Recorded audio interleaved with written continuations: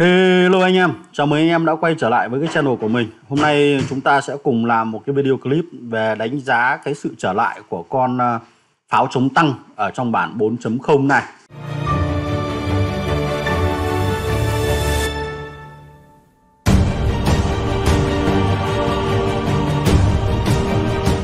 Rồi, theo như bản trên lúc mà Dev đã công bố và đã đưa ra trong bản cập nhật 4.0 ở đây thì chúng ta đang có một cái con bắc khá là mạnh khi cái phần chỉ số của nó được uh, búp lên uh, đam phương tiện được búp lên từ 250% lên 350% đam phương tiện tức là nó có khả năng gây ra sát thương lớn hơn vào các xe tăng từ 250 lên 350% tức là tăng 100%. Cái thứ hai là nhà phát hành có đưa ra cho chúng ta thêm một cái cây công nghệ mới là cây công nghệ tấn công nâng cao.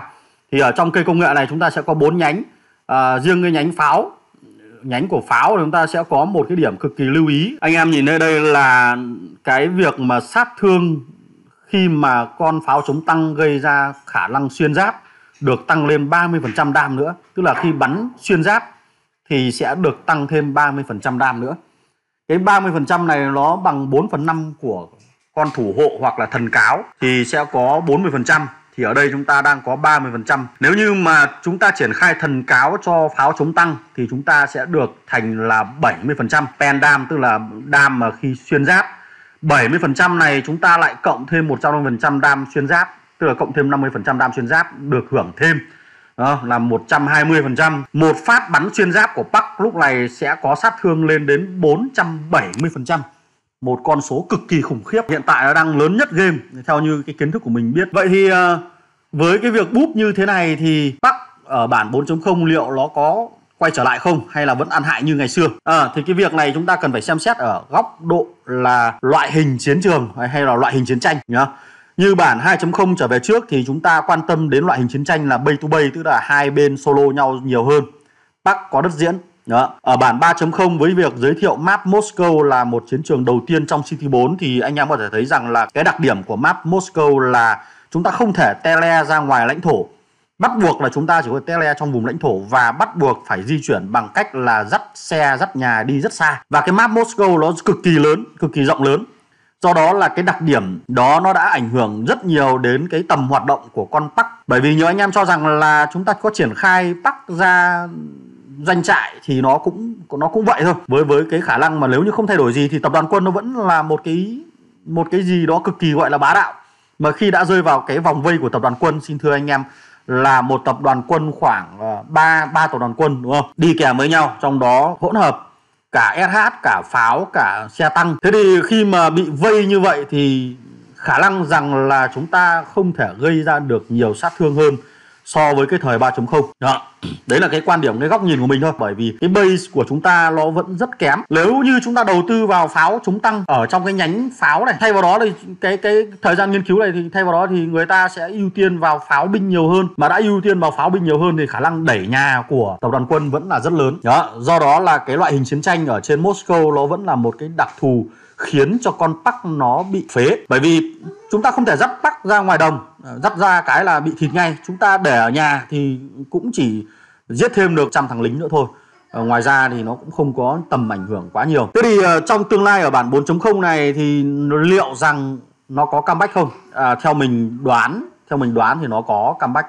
Bởi vì sao? Bởi vì ở bản 4.0 chúng ta sẽ được tiếp cận đến một cái bản đồ mới đó là San Francisco một bản đồ 4.0 một bản đồ City 4 mới. Thì như anh em đang nhìn thấy ở đây là cái giao diện của bản đồ thì chúng ta thấy rằng là nó có hai màu xanh đỏ và khả năng là chiến tranh nó sẽ khác rất nhiều so với ở Moscow.